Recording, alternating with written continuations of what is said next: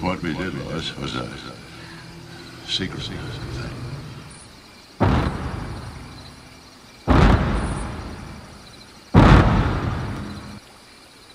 The soil of a man's heart, Lois, is stonier.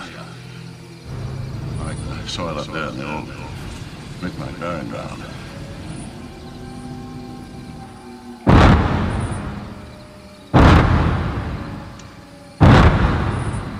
Sometimes that is better.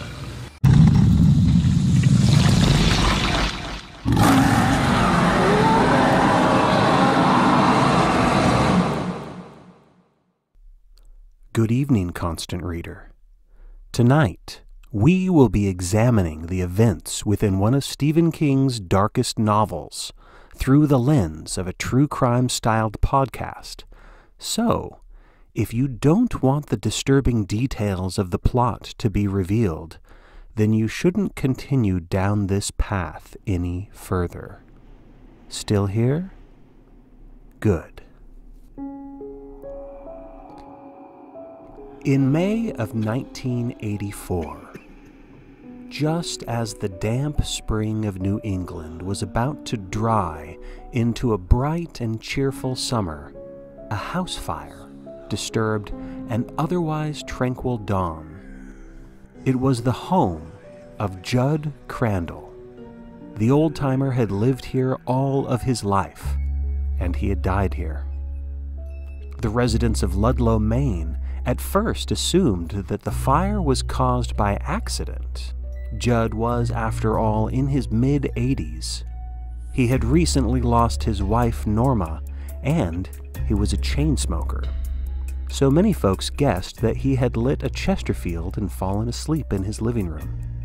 However, it did not take long for investigators to detect signs of arson. But there are those who believe that Jud Crandall was playing with more than just matches. There are some who say that Jud Crandall was meddling with a malevolent and unnatural power that lurked in the woods just beyond the town proper. A power, they say, that was more like a curse. And apparently, it is all connected to a little patch of ground tended by neighboring children and marked by a misspelled sign that reads Pet Cemetery.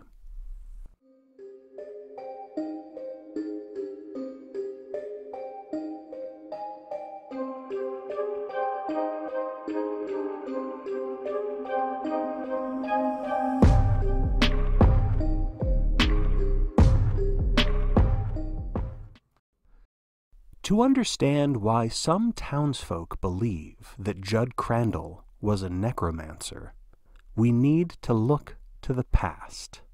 Jud was born at the start of a new century in the year 1900, but to truly understand the murders that took place not just on Jud's property, but on his neighbors, we must go back even further. Before the days of European explorers and fur trappers, the land of this area was home to the Micmac Indian tribe and other native peoples. The forest and hills in this part of the country were said to be sacred, and though it has yet to be discovered by modern day archaeologists, it is believed that somewhere in the wilderness that borders Ludlow, Maine, there is an ancient burial ground. And according to legend, that burial ground soured into an unholy place. For perhaps hundreds of years, the Micmac buried their loved ones here, and even their animal companions. It has been said by locals that the Micmacs believed this hill was a magic place. They made this place and buried their dead here, away from everything else. Other tribes stayed clear of it, and claimed that these woods were full of ghosts. Later, French and British fur trappers began to make similar claims about evil spirits in the night. These rumors, perhaps too vague to even be called a legend, contend that something called a Wendigo touched this place. According to American Indian horror stories, Wendigos are evil, man eating giants. They were once human, but have been cursed, punished for the sin of gluttony, selfishness, or the worst crime, cannibalism. They were transformed into malevolent beings doomed to walk the woods, and they say the original human form is still locked within this monstrosity, curled up and frozen in a fetal position, trapped in the place where the Wendigo's heart should be. Now for the Micmac, instead of a burial ground that would grant eternal rest, this patch of land would now awaken the dead, and what would rise would no longer be human or even animal, but would be a shell of its former self, animated by evil spirits, ready to do the bidding of the Wendigo. Throughout the 1800s, the American children growing up in the area would have shared these superstitions with one another, growing them, enhancing them, altering them, and these warped versions of Micmac and Algonquin mythos merged into a story about how something in the ground could bring a dead thing back to life. By the late 1800s, the children of Ludlow established their own pet cemetery. Eventually, the road that would become Route 15 became flooded with horses and carriages and would become even more crowded with the birth of the Model T Ford. The result was a highway between two industrious towns and a disturbing surge in roadkill. For solace and finality, more and more children of the community turned to the local pet cemetery but there were some who believed that there was a pathway that led beyond the pet cemetery into the wilderness to the original lost Micmac burial ground. Local drunks would claim that if you carried your pet through a dark place called Little God Swamp and plant the body of your animal into a stony plot of ground and then build a cairn upon the grave, you could bring your beloved pet back to life. A fur trader by the name of Bouchard may have been the first Anglo settler to discover the burial ground.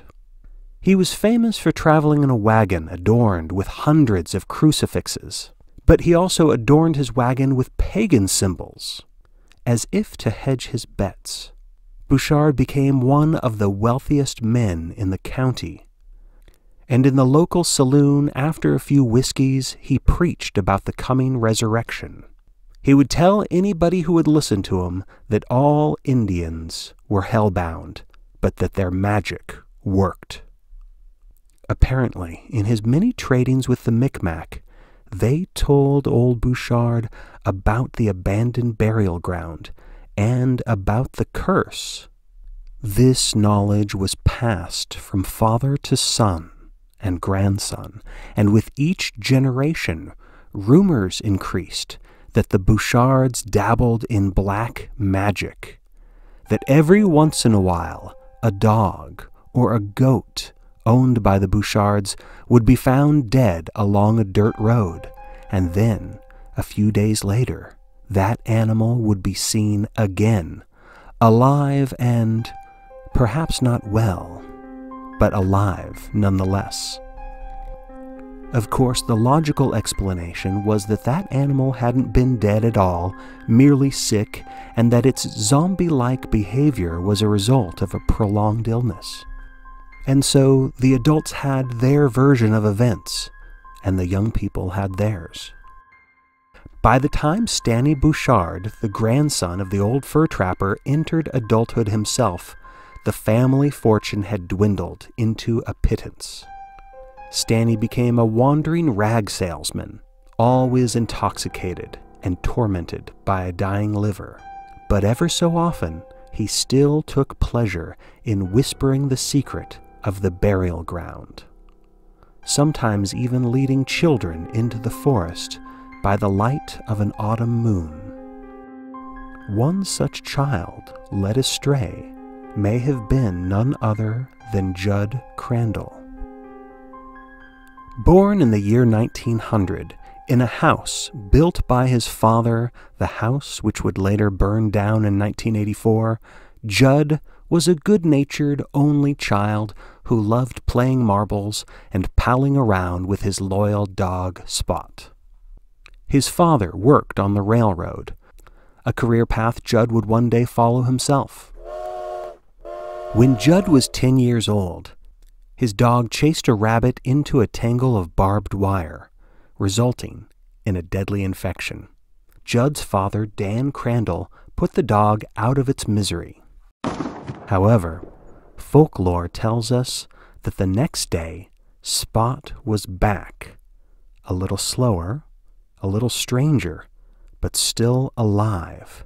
And in the place where there should have been a bullet wound, now there was merely an indentation and a circle of fur turned white. Spot was not the only pet believed to have turned. Over the years, the townsfolk would notice certain commonalities. Some pets would smell like spoiled meat. Their movement became jilted, clumsy. The touch of these so called resurrected animals was said to be revolting. Some cats who had been benign before, perhaps even friendly, were now seen disemboweling rodents and birds. In 1914, Spot died, for a second time if superstition is to be believed, and his bones now rest somewhere near that misspelled sign in the hills. In 1967, it has been said that a prized bull named Hanratty was dragged up to the secret burial ground and came back to life. It is unclear if this resurrected bull had been owned by Zack McGovern or Lester Morgan, but by all accounts, townsfolk claim that the bull had dropped dead in its field, only to be seen alive again, and now it had become aggressive, so much so that it injured itself by charging into trees. The owner had to put the animal down for good this time. And yet, despite the mayhem connected with the bull, it was said that when Mrs. Levesque's pet Chow passed away, she was so grief stricken that she begged Lester Morgan to show her the way to the burial grounds, and reportedly, days after the vet had put the animal to sleep, that Chow was back to life, chasing postal employees.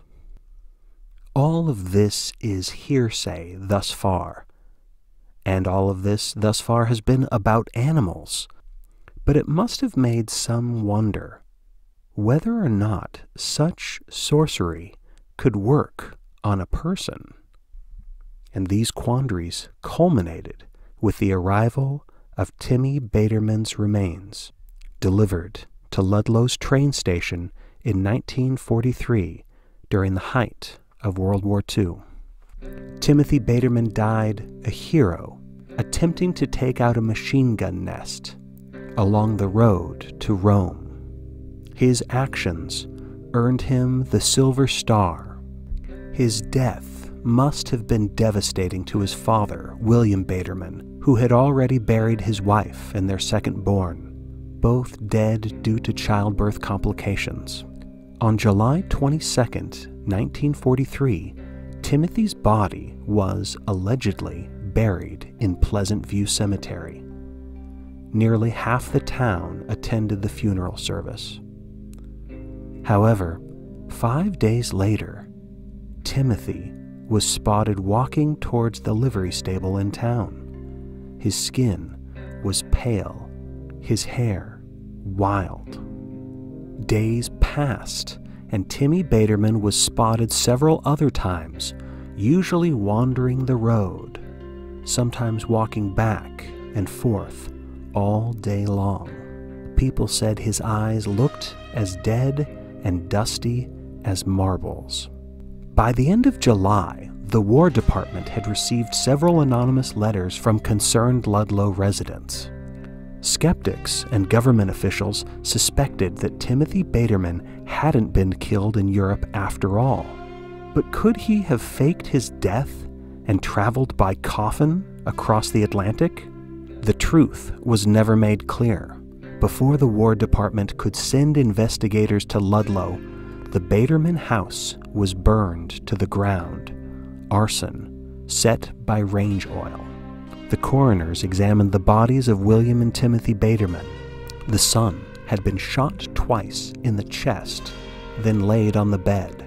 And yet, the autopsy report claimed that Timothy Baterman had been dead for at least two weeks. The father had apparently taken his own life with the pistol, but not before setting fire to his own home.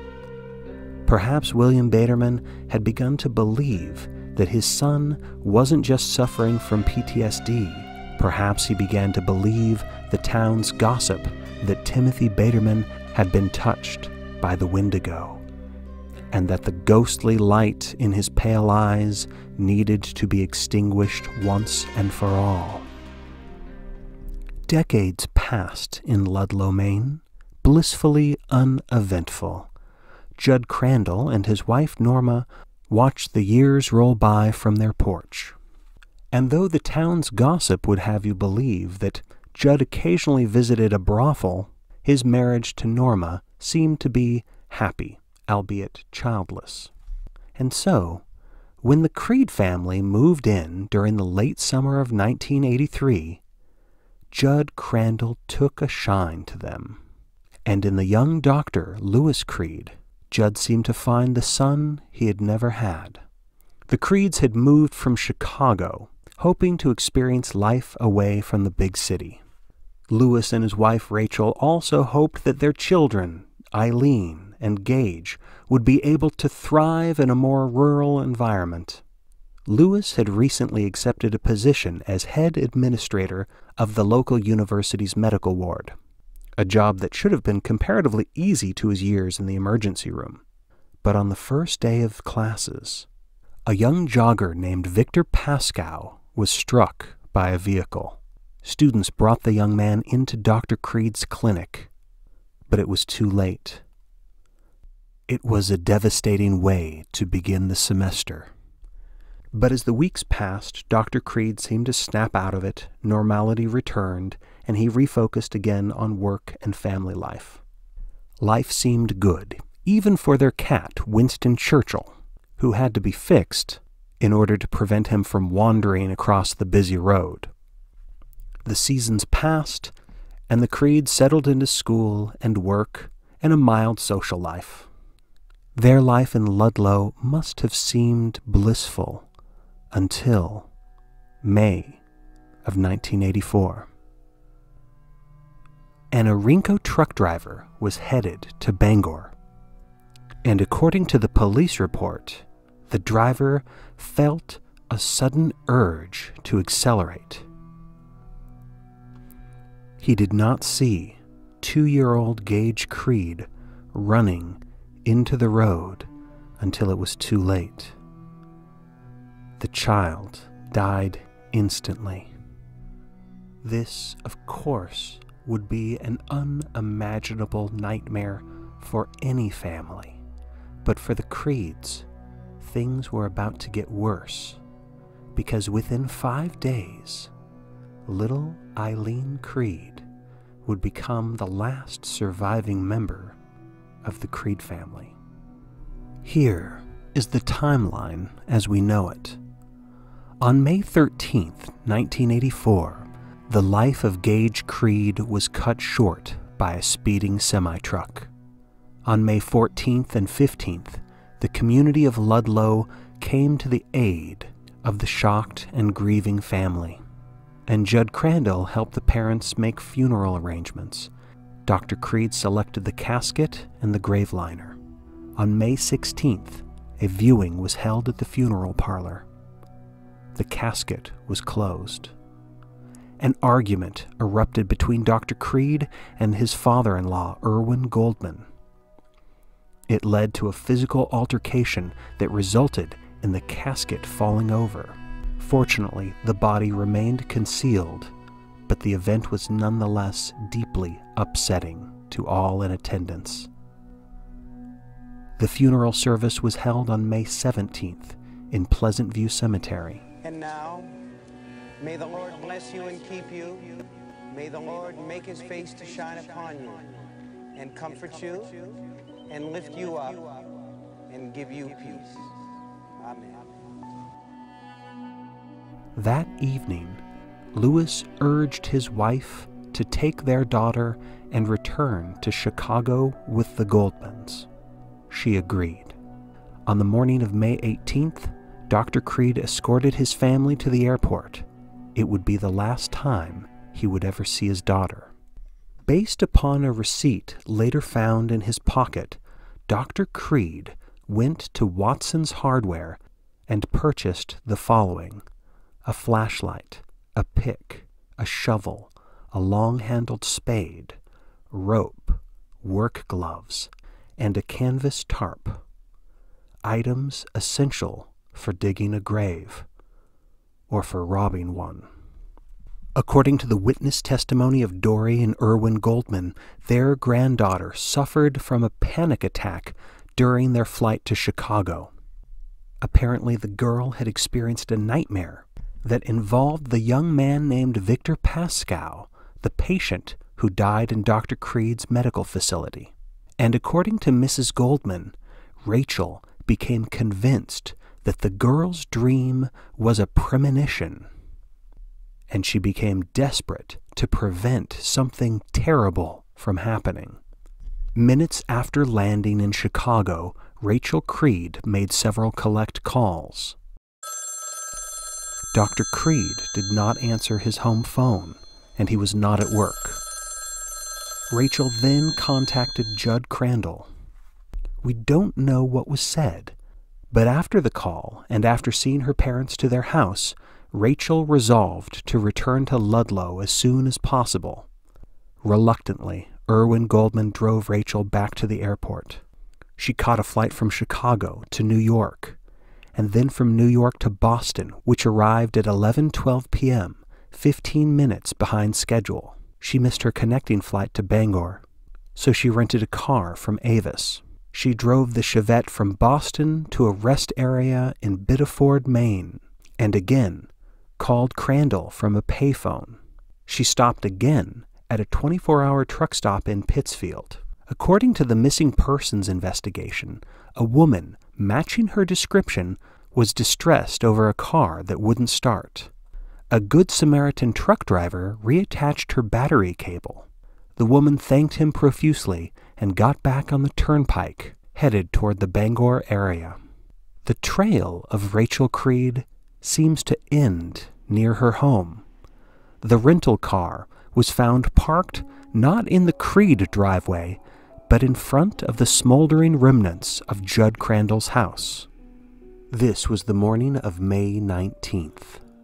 In the early stages of the blaze, the firefighters rushed to the scene, but they were not able to extinguish the flames before the entire two story structure collapsed in on itself.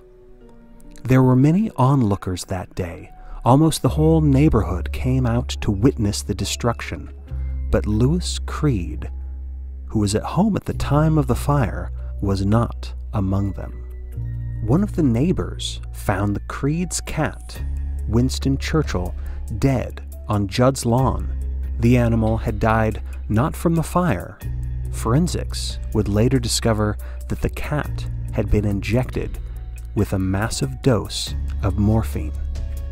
On the afternoon of the 19th, police interviewed Dr. Creed, asking if he had noticed any suspicious activity before the Crandall fire took place. Dr. Creed wore a hat and jacket standing outside his house and stated that he had seen nothing out of the ordinary.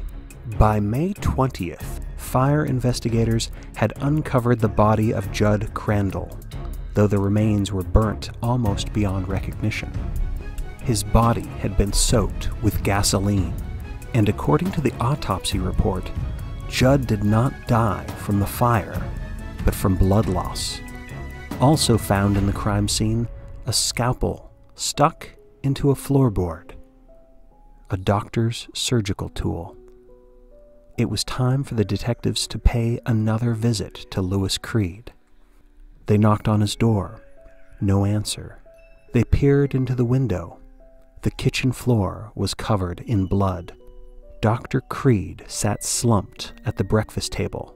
He had been stabbed over a dozen times. His hair had turned white. His glassy eyes staring at an unfinished game of solitaire. Though many of the townspeople believe that Dr. Creed took his own life, there are substantial clues to suggest otherwise. The first are muddy footprints from the entrance into the kitchen, and then there is the murder weapon, a butcher knife taken from the kitchen counter, lodged in the doctor's chest between two ribs. The fingerprints on the handle of the blade match that of Rachel Creed. Also taking place on the same day, search and rescue operations had been scouring the woods, hoping to find Mrs. Creed alive. The only trace they found of her was a bedsheet caught on the branches of the deadfall next to the pet cemetery. The sheet was stained with massive amounts of blood, blood that matched Rachel's type. As authorities raked through more of the ashes of Jud's home, they found pieces of floorboard that had been spared from the blaze. They were soaked with that same person's blood. This indicated that at some point before the fire, Rachel had been inside Jud's home and had been injured. Finally, one last grisly detail was uncovered in the wreckage the remains of a child, seemingly burnt beyond recognition at first, but the forensic evidence would go on to reveal that the body had been dead for nearly a week. More than that, there was formaldehyde and other signs of embalming. Ultimately, it dawned on investigators that the child might in fact be Gage Creed, stolen from the Pleasant View Cemetery. The grave was exhumed to confirm this theory. The boy's casket was empty, with the exception of a single spade recently purchased from Watson's Hardware. Detectives determined that it must have been Louis Creed who was responsible for robbing his own son's grave, and now they scoured the late doctor's house, looking for any signs of motivation aside from the obvious grief. Among the doctor's books and papers, they found this a note written by Jud Crandall. In addition to holiday pleasantries, it reads By the way, Louis, I wouldn't talk about what we did last night either. Not around North Ludlow. There are other people who know about that old Micmac burial ground. And there are other people in town who have buried their animals there. You might say it's another part of the pet cemetery. But people around here don't like to talk about it. And they don't like people they consider to be outsiders to know about it. Not because some of these old superstitions go back 300 years or more, although they do, but because they sort of believe in those superstitions, and they think any outsider who knows that they do must be laughing at them. We will talk more about this, probably tonight, and by then you will understand more. But in the meantime, I want to tell you that you did yourself proud. I knew you would. Jud. The authorities and news reporters began to assemble a narrative of their own. Jud Crandall had convinced the otherwise sensible Dr. Creed that the secret burial ground hidden in the hills was real and contained the magical power of resurrection. Perhaps the cat Winston Churchill had become lost or injured, or seemingly dead or missing, and then upon the feline's return over Thanksgiving weekend, Louis Creed became a true believer. The theory continues. After the funeral of his son, Dr. Creed exhumed the little boy's corpse, then took it to Jud Crandall's home, demanding that the elderly man show him the way to the burial ground. Jud must have stalled for a while, perhaps even sent a warning over the phone to Rachel, who then immediately fled Chicago back home. Finally, when Jud could not bring the boy back to life, Dr. Creed stabbed the 84 year old man over a dozen times with his scalpel. It's possible that Rachel may have entered the home during this murder, and either by intention or accident, Louis stabbed Rachel as well. Believing her to be dead, he wrapped her in a sheet and took her up into the woods, perhaps placing her near the pet cemetery. Then he returned to the scene of his crime and burnt down the Crandall home, hoping to destroy all evidence. But that night, Rachel Creed, still very much alive, walked into the kitchen to put her husband down like a mad dog. That's the theory, at least. And really, what else could have happened?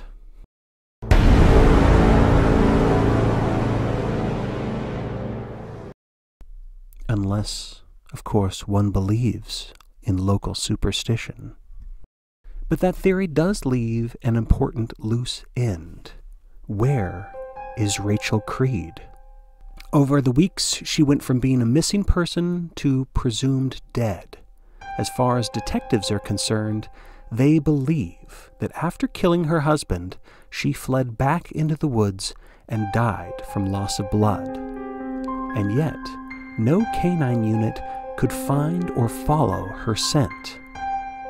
And her body was never found, at least not by the authorities. But there are those who live in Ludlow who claim they have seen Rachel, usually just before dawn, or sometimes right after sunset, limping back and forth along the road where her son lost his life. They say she is still searching for Gage William Creed, calling out not his name, but a term of endearment, a single word in the darkness darling, darling. Thank you for watching and listening to the Stephen King Book Club. As always, we appreciate your enthusiasm for this project as we go through the books and stories of Stephen King. Thank you for liking and subscribing, and thanks to all who have joined as members and become constant watchers as well as constant readers.